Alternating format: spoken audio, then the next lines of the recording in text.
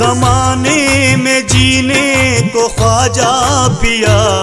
जमाने में जीने को ख्वाजा पिया।